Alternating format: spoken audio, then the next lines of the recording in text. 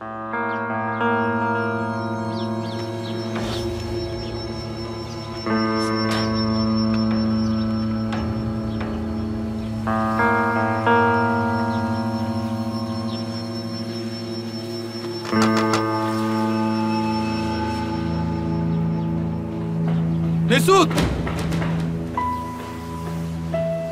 Nerede lan bu? Bilmem. Yine uyuyakalmıştır kesin. Yok lan burada. Allah Allah. Nerede ki bu sabahın köründe? Dolaşıyordur belki. Hadi lan oradan. Çoktan eve gidip sıvarmıştır. Doğru diyorsun.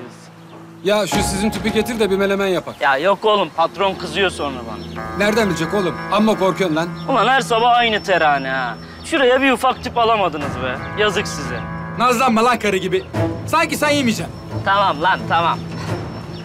Ama bak patron gelirse var ya Allah'ıma kitabıma karışmam. Bunlar benden habersiz almışlar derim ona göre. Amma korkuyorsun lan. Yürü git. Öleceğim açlıktan. Tamam be tamam. Hadi ya.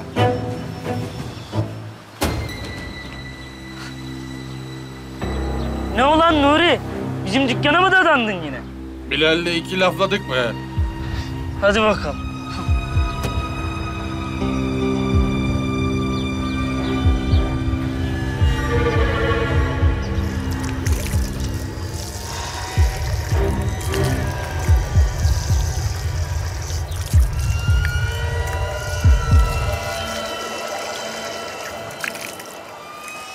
Bilal, Günaydın Tarık abi. ne haber lan? Allah'a şükür abi. Ne diyeceğim? Şu bizim küçük tüpü getirsene içeriden. Biliyorsun patron kızıyor sonra abi. Ya biliyoruz oğlum. Hadi uzatma da getir şunu. Peki abi. Hadi. Allah Allah.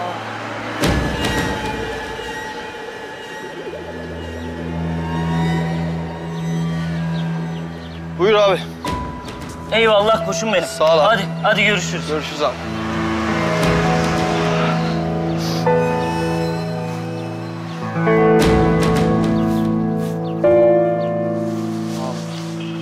Yapıyorsunuz lan? Baksana şuna ya.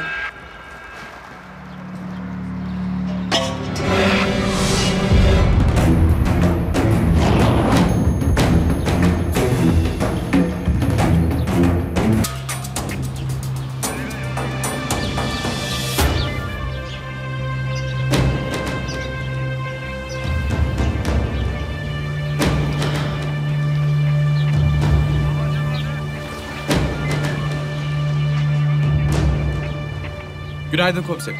Günaydın. Ne olmuş Hasan? Ölen kim? Maalesef bilmiyoruz komiserim. Hadi ya en sevmediğim şey kimlik mi çıkmadı üstünden? Yok komiserim ortalıkta ceset yok ki kimliği olsun. Nasıl yok ya? Nerede olay yeri? Şurada komiserim.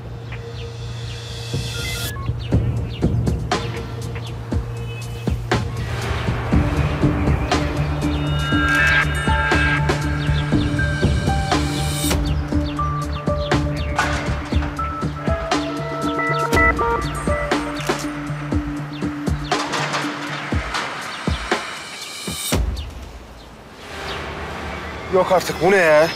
Sabah inşaata gelen işçiler fark etmiş komiserim. Alyansı çıkıyor mu? Maalesef. Eli şişmiş. Başkomiserimi aradım, doktoru bekliyoruz. Peki adamı nasıl çıkaracaksınız? GPR'la cesedin konumunu belirleyeceğiz. Sonra betonu blok şeklinde kesip kriminale göndereceğiz. Artık gerisi adli jeoloğa kalmış. Ölme, şeyim ölme yani. En azından parmak izi var elimizde.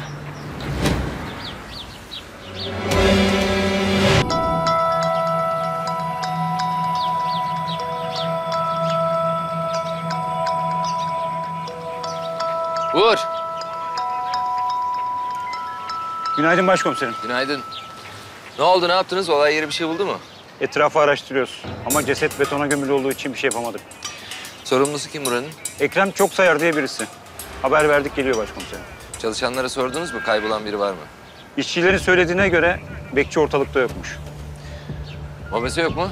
Var, üstelik birkaç tane. Hepsini kontrol etsinler. iyice incelesinler. Üstünde. Bölgede daha önce ihbar edilen olay ya da bir vukuat olmuş mu? Yok başkomiserim.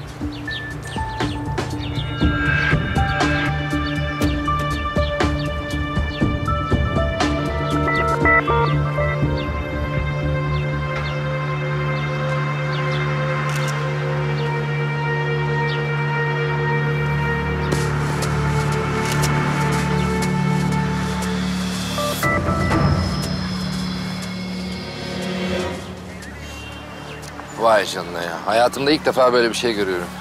Korkunç bir ölüm. Canlı canlı mı gömülmüş? Otopsi yapmadan bir şey söyleyemeyeceğim ama eli dışarıda olduğuna göre büyük ihtimalle öyle. Beton donmadan kurtulmaya çalışmış olmalı. Of kafayı yedirtecekler bana sonunda ya. Kim bu sapıklar abicim? Pardon başkomiserim.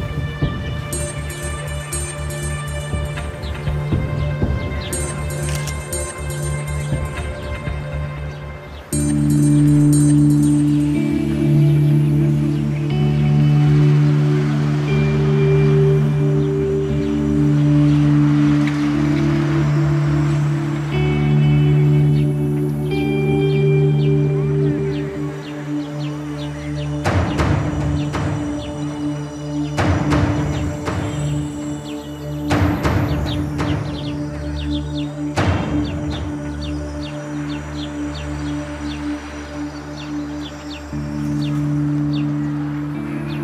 Şey yazıyor mu? Emine Mesut. 1996. Selim öğren bakalım kayıp olan bekçinin adı Mesut muymuş? Başla. Ekrem Çoksayar. Sanayi Müdürü. Evet komiserim, adı Mesut. Ama şimdiye kadar eve gidip uyumuştur bile. Karısının adı Emine'ydi değil mi? Yok, Fatma'ydı sanki. Ama emin değilim. Adresi vardır herhalde sizde. Var tabii, olmaz mı? Komiserim, yoksa bulduğunuz ceset Mesut muymuş? Henüz bilmiyoruz. Hay Allah. Tamam şu adresi alabilir miyim ben? Tabii, hemen getiriyorum komiserim. Belki de kazayla düşmüştür başkomiserim. Zannetmiyorum canım. Öyle olsa çıkardı. Büyük bir ihtimalle bilinci yerinde değilmiş. Beton kısmen donduktan sonra kendine gelmiş olmalı. Konuştum bekçinin adı Mesut'muş. E, en azından artık kimliğini biliyoruz. Ama sanayinin müdürü karısının adının Fatma olduğunu söylüyor. Bekçi kayıp ama. Çoktan evine gitmiştir diyor. E adamın evine bakın o zaman. Başla.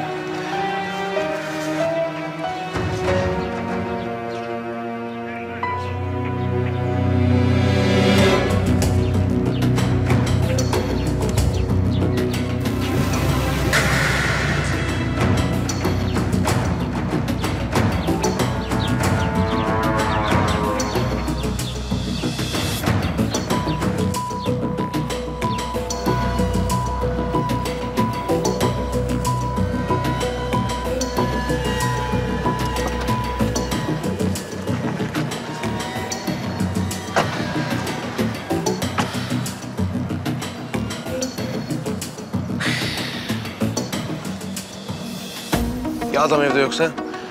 Ne yapacağız şimdi? Kocanızı diri diri gömmüşler mi diyeceğiz? Olur mu canım öyle şey? Her şeyin bir adabı vardır. Ben hallederim. İyi, sana bırakıyorum bakalım. Çok merak ediyorum ne diyeceksin. İyi günler. İyi günler. Mesut Bolu'nun evi mi? Evet. Kocanız evde mi? Yok gelmedi. Ee, aradım telefon da kapalıydı. Ben de merak ettim. Aslında kalmazdı hiç bu saate ama Emine Bolulu. 43 yaşında. Bekçinin karısı. yoksa bir şey mi oldu? Sizin isminiz nedir? Emine. Emine Mesut. 1996. Emine Hanım bizle gelmeniz gerek. Kayıp bir şey var mı? Vallahi çok acayip komiserim. Rahim Tataroğlu. 32 yaşında. İnşaat işçisi. Biri kazma ve küreklerle beraber çimento torbalarını yürütmüş. Emin misin bu iş için kullanmış olmasınlar? Hadi çimentoyu kullandılar ya kazmayla kürek. İsmet Kızılsakal. 34 yaşında. İnşaat işçisi. Belki de adamla birlikte onlar da içine düşmüştür. Başka bir şey yok mu? Sabahleyin Bilal bir şeyler çalınmış diyordu ama. Nuri Büyükarslan. 44 yaşında. İnşaat işçisi. Bilal kim? Yandaki hurdacının çırağı. Uğur. Bunların hepsinden parmak izi ve sevap alalım.